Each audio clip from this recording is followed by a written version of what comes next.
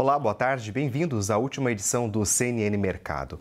O Ibovespa fechou em alta de 0,65% nessa quinta-feira, aos 130.066 pontos, encerrando uma sequência de cinco baixas consecutivas. Já o dólar caiu 0,53% a R$ 5,66, seguindo principalmente o movimento da moeda americana no exterior.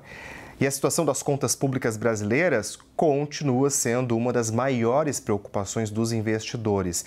Mas o dia foi marcado principalmente pela publicação do IPCA 15, dado que é visto como uma prévia da inflação.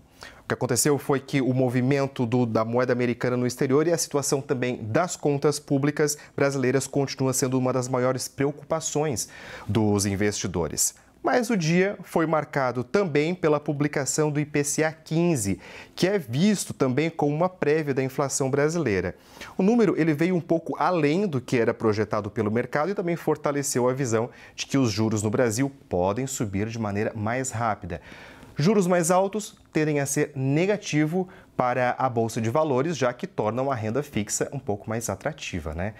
E a gente continua falando justamente sobre a prévia da inflação, que subiu 0,54% em outubro, segundo o IBGE, levando a taxa em 12 meses para bem perto do teto da meta do Banco Central. Quem traz os detalhes dos grupos que mais impactaram no resultado é a economista-chefe da CM Capital, a Carla Argenta. Vamos acompanhar. Dois grandes grupos trouxeram os principais vetores de pressão inflacionária. São eles habitação cujo grande responsável foi a bandeira tarifária, que incidiu sobre o período.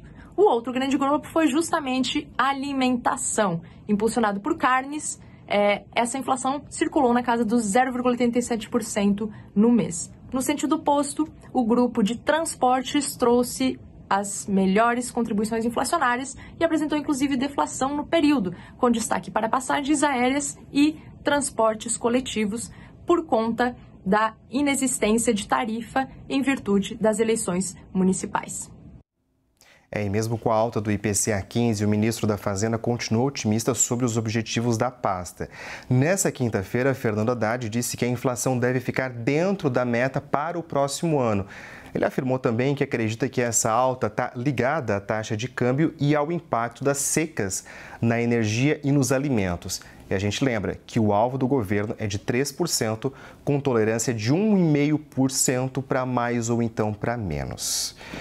E agora a gente fala de G20, porque os executivos do grupo vão lançar aqui no Brasil uma plataforma com recomendações para o uso de inteligência artificial.